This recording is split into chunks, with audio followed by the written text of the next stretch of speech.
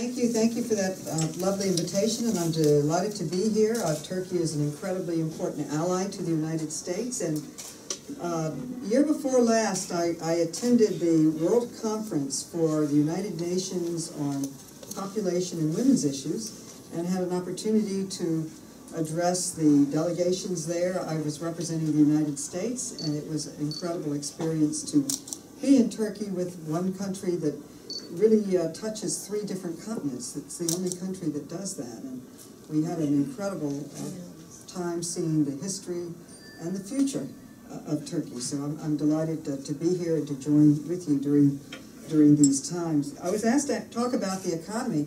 Uh, we know that under Clinton we had one of the best, the best economy in, in my lifetime. We were at peace. Uh, we had left it with a huge surplus, billions of dollars, no wars, uh, and everyone, uh, unemployment was almost uh, non-existent.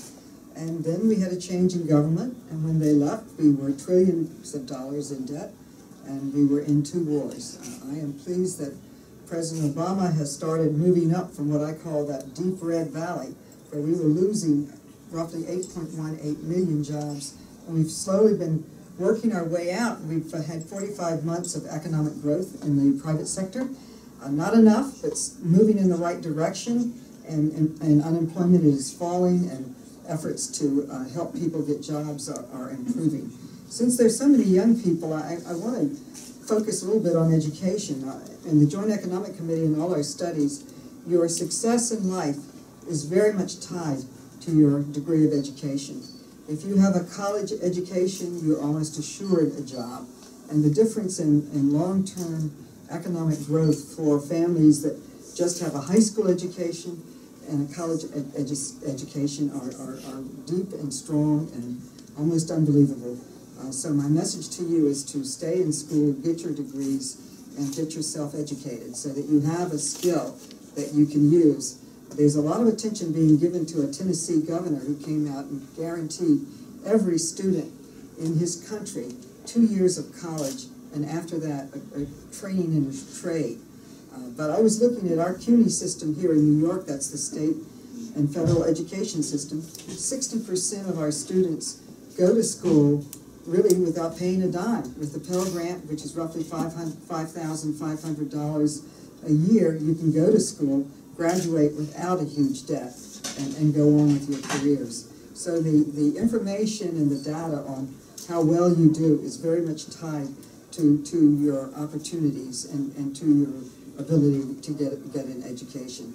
Uh, we, we are working hard in many areas, but uh, one of my key areas is infrastructure. It's certainly a national uh, platform, a national goal of President Obama's to, to have more infrastructure projects. But in my district alone, the two largest transportation projects, not in New York City, not in New York State, but in the entire country, are in the district that I'm privileged to represent. That's the Second Avenue Subway, the East Side Connector. Those two projects alone are guaranteeing or supplying over 100,000 good paying jobs. And uh, I'm proud of that. We just secured 650 million for the Kosciuszko Bridge. Any of you travel that bridge between Queens and Williamsburg, Brooklyn? It's always backed up, so we're going to modernize that and turn a six lane into an eight lane and make it a modern 21st century uh, bridge. And I, I recently got a $300 million grant uh, down payment for, for building the Second Avenue subway between, between New York and Boston. And I can't think of an economic development project that would bring more jobs uh, than that. In addition, uh, I, I work with the mayor on shifting our economy, not just focused on financial services, but moving to high tech. And the first high tech higher education university is being built in my district on Roosevelt Island. Gained hundreds of millions of dollars, good paying jobs, and a very strong investment in the future. Um, I've worked hard to bring a healthcare clinic to a public housing project in Queens that I represent, Queensbridge Houses. And uh, that's the first in New York State to be in a public housing project. And with this new administration, uh, we are working very hard on public housing that was really being ignored. They were coming in and trying to turn the open space into high-income housing, not investing in public housing at all, and yet uh, we have a task force working on it, and we're going to uh, get those repairs done and, and bring that up to snuff. During the time that I've been in office, I've uh, helped, working always in collaboration with other people, to build seven new schools in my district and over seven senior housing home, home areas uh, that will supply over 200 apartments for people who need them. Um, so I, I am uh, really thrilled to be here. Yesterday I uh, went to the National Democratic uh, meeting for the National Party. My roommate is Debbie, Debbie Wasserman Schultz, who happens to be the, uh, she happens to be the uh, head of the Democratic Party, so that was exciting to see her. There, after uh, Al Gore invented the internet, so he says, we now have all new ways to communicate. We intend to take those ways to communicate out into the next uh, election using all the new high-tech ways. And uh, we're working now not only in trying to build new jobs, but to take care of those people that are unemployed. Um, there are 1.6 million people in America that have lost their unemployment benefits and are really, really strapped. And uh, we want to extend the unemployment be benefits and, and, and uh, uh, raise the minimum wage. Many minimum wage workers work for large corporations where they literally receive training on how to access government benefits uh, it would be better just to pay them a living wage. Let them uh, not be in poverty, but pay them a living wage. So we're working hard to raise the minimum wage to $10, $10.10. Uh, March is the year of the woman, and we're going to be celebrating uh, March is uh, Women's History Month. When I get back, I'm having a press conference next week with a bunch of Girl Scouts. We're trying to get a, women, a women's museum the. We're working hard on that. Every year I reintroduce the Equal Rights Amendment. I feel that women are half of our population. They hold up half the sky, half our society at least. And, and we need to make sure that they're part of the Constitution and that all of our laws about equality, equality of opportunity, equality of equal pay for equal work, that this is given to half of our population. Actually, we're more than half. We're 53% of the population of America, and even higher percentage of those who vote. Uh, so women are playing a very important part, uh, not only in the homes, at the kitchen table, but at all the tables, the peace table, all tables.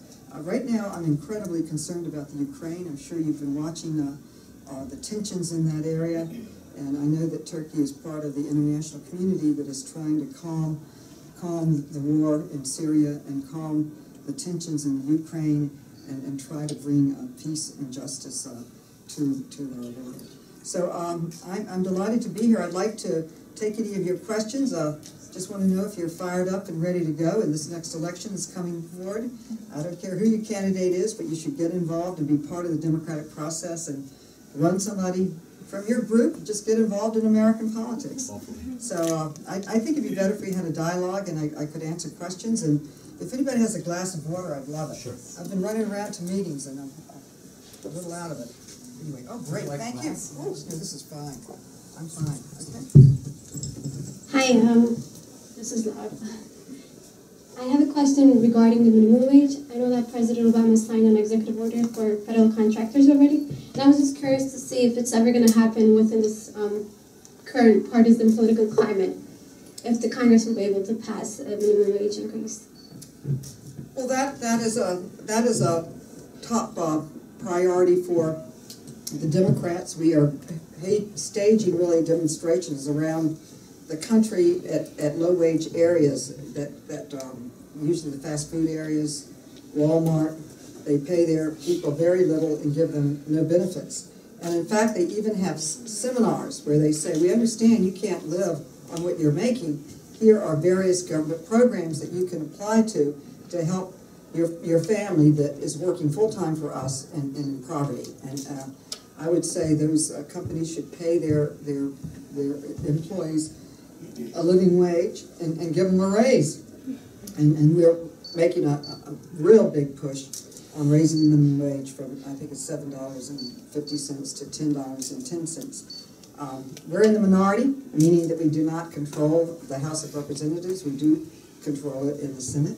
Elections uh, make a difference certainly makes a huge difference in, in policy, and we'll continue to work on it. When President Obama was elected, the first bill he signed into law was the so-called Lilly Ledbetter Act. How many know what that is? it allows you to sue if you feel you're discriminated against in your pay. Very important for, for women. The second bill that he signed into law, was my bill that I authored, called the Credit Card Bill of Rights. According to many economists and, and think tanks, this bill saves you, consumers, over ten billion dollars. There was another study three, three, three months ago that said it saved you twenty billion dollars by just stopping unfair, deceptive practices. So that's an important bill. And uh, he, the president signed it into law. It passed under Democratic House and Senate. It would never have passed under Republican one. So elections make a difference. They really do on how policies translate into your own life. We'll be working, but we don't control the majority. So uh, the, the Republicans have the power to block the, the, the raising of the minimum wage, and they have so far. And they say that they will continue to block it. Boehner made this incredible statement. He said, "Over my dead body will there be a minimum wage increase." I thought that was a, you know, an extreme statement. Anyway,